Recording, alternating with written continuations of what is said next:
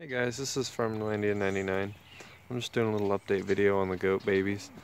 Uh, we got a bit of sunshine today, a break in the snowy and rainy weather, so we decided to let the goats out. And all the kids are kind of meeting the rest of their family. Here's their dad right there.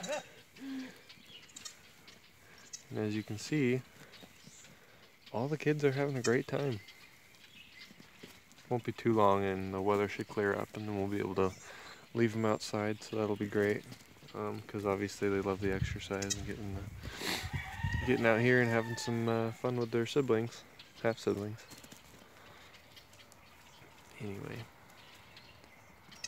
Um, I think since I did my last video we've had two other does give birth um, from the Boer herd and I'll do a video on that later. I'm still waiting for one doe so I'm just gonna uh, do one video of all three does and their babies. Here's a little kid on me right now. But um, yeah, um, so far we have nine kids and what is it? Six of them are boys. So yeah, quite a few boys this year again. Last year we had six kids, five boys and one girl. And then this year we have nine kids, and six of them are boys, so there's a little girl right there. ooh, they just ran into each other. Um, I think the biggest problem they're having right now is finding their moms, because they get so caught up in having fun, they just kind of seem to forget who their mom is, and there they are over there playing with Cookie Dough. He's our, uh, one of our only wethers. He's the rescue from last year.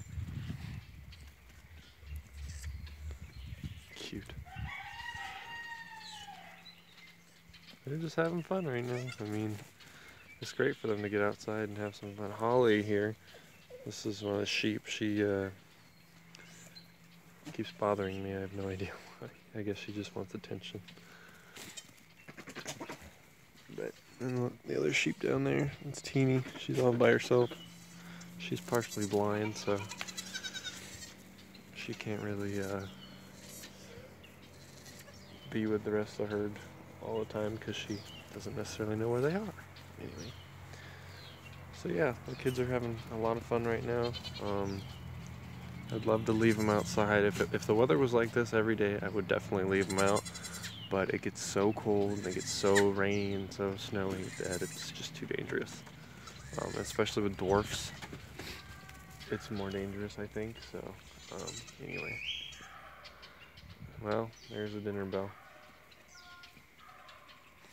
Alright, so I'm to have to wrap up this video. But, uh, yeah, I just thought I'd do a little update on them, and they're doing great. So, hope everybody else is doing good.